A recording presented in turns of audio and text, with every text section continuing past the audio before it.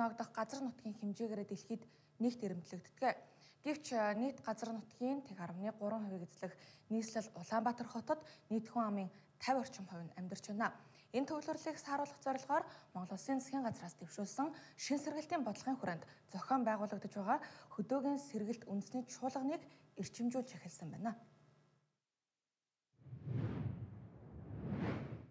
Монгол Улсын засгийн газар шин сэргэлтийн бодлогын хүрээнд Улаанбаатар хотод хүн амын төвлөрөл хэтийг үүсэнтэй холбоотойгоор хотын төвлөрлийг сааруулж орон нутгийн хөгжлийг дэмжих зорилгоор хөдөөгийн сэргэлт үндэсний чуулганыг өнөөдөр зохион байгууллаа. Тус чуулганы үеэр орон нутгийн дэд бүтцийг сайжруулах, хөгжлийг дэмжих олон ажлуудыг хийх шаардлагатай байгаа талаар ярилцлаа.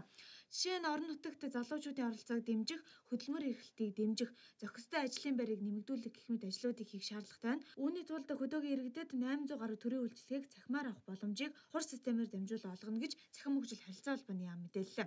Мөн орон нутагт цахим хөгжил илүү сайжирснаар авилга хэл ахвал төрийн албаны хүнд суртал арилна гэж үзэж байна. Төр заавал одоо иргэнийг авчирж биш очиж үйлчлдэг болёо гэж. Тэгээ үүний өрөөнд би нэг зүйлийг хэлэхэд за одоо Баян-Онгор аймгийн нэг суманд үйлчлэгээ авах гэж байгаа иргэн тэр нэг цагийн үйлчлэгээ төв дээр очиод нэг удаагийн юм пассворд хэлгээж байгаа. Жишээ нь тоон гарын үсгтэй юм бол тоон гарын үсгээрээ болно. Тоон гарын үсэг байхгүй бол хэрэг сонголт. Тэгэхээр тэр иргэн болвол за тань руу дөрөв оронтой тоо явуулна. Тэгээ дөрөв оронтой тоо явуул өөрийгөө таниулчихсан. Дөрөв оронтой тоогоо илгээхэд гадаад пассворд авах ийлаа гэж бодоход таны иргэний өмнөлөгч хэрэгтэй болж эхэлнэ. Иргэний өмнөлөгч нэхэхгүй. Тэр дөрөв оронтой тоогоо чи авснараа хур системээс таны зөвшөөрсөн мэдээллийг нь татаад дөрөв одоо тэр гадаад пассвордыг захиалгаж ямар нэгэн цаас хүүгээр одоо авчна. Ингээ үүний дараа шуудангаар тэр тодорхой хугацааны дараа гэлт нь үргэлжлэдэг ийм л үйлчилгээг л операторын горим гэж нэрлэдэг байгаа. Монгол улсын хувьд хүнсний аюулгүй байдал нэг тулгамдж байгаа асуудлуудын нэг юм гурил мах сүү төмсийг стооцсон бол хүнсний хэрэглээний дийлэнхийг импортоор худалдаа авч байна.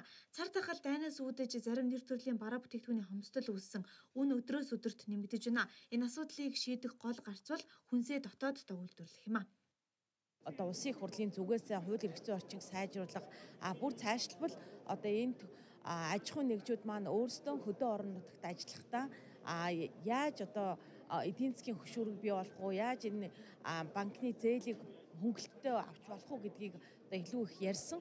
Тийм учраас өнөөдөр ч гэсэн энэ чуулга уулзалт маань илүү их үр дүнд иргэд маань өөрсдөө энэ санал бодлоо хэлж одоо ярих биш хийх цаг нь болчихсон байна л гэж харж байна. Улаанбаатар хотын төвжирлийг бууруулах гол гарц бол хотын төвлөрлийг сааруулах, хөдөөг хөгжүүлэх явдал юм. Үүний тулд орон нутгийн хөгжлийг дэмжиж, дид бүтцийг сайжруулах тал дээр анхаарч ажиллах хэрэгтэй байна. Мөн орон нутагт амьдрахаар сонголт хийсэн иргэд болон аж ахуй нэгжид хөнгөлөлтөө зээл олгох, тэдний ажил бизнесийг дэмжих талаар ярилцлаа. Зээлийн хөв ипотекийн зээлийг бид одоо 3% ипотекийн зээлийг асуудлыг хөрөнгө мөнгөний хөсрөө тусгаж өгсөн. За аж ахуй нэгж байгууллагууд зээлийн 1% асуудлууд байж байгаа мөн одоо аж ахуй нэгжүүд гараагаа эхлээд бизнесний яхад зээлийн дэмжлэг үзүүлэх тухай асуудлууд. За дээр нь бас бид бас захиргааны явц тодорхой хөшүүргүүд хэрэгжилж байгаа.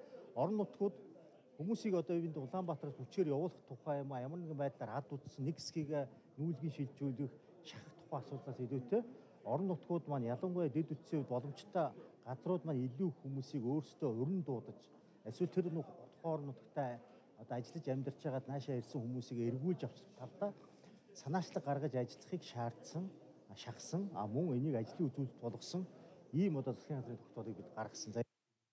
Хөдөөгийн сэргэлт чуулганд Монгол Улсын засгийн газрын гишүүд, дид сайд нар болон холбогдох эрх бүхий албаагчид, төрийн болон төрийн бас байгууллагууд 21 аймгийн удирдлагын баг болон олон улсын байгууллагын төлөөлөл, орон нутгийн 1000 гаруй төлөөлөгч өнөөдөр оролцлоо.